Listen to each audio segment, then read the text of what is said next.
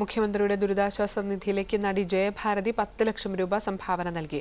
രാവിലെ സെക്രട്ടേറിയറ്റിൽ മുഖ്യമന്ത്രിയുടെ ഓഫീസിലെത്തിയാണ് ചെക്ക് കൈമാറിയത്. നടനും ബന്ധുവുമായ മുന്നയും ജയഭാരതിക്കൊപ്പം ഉണ്ടായിരുന്നു പ്രളയത്തിന് ശേഷമുള്ള കേരളത്തിന്റെ പുനർനിർമ്മാണത്തിനായി എല്ലാ മലയാളികളും മുന്നോട്ട് വരണമെന്ന് ജയഭാരതി പറഞ്ഞു.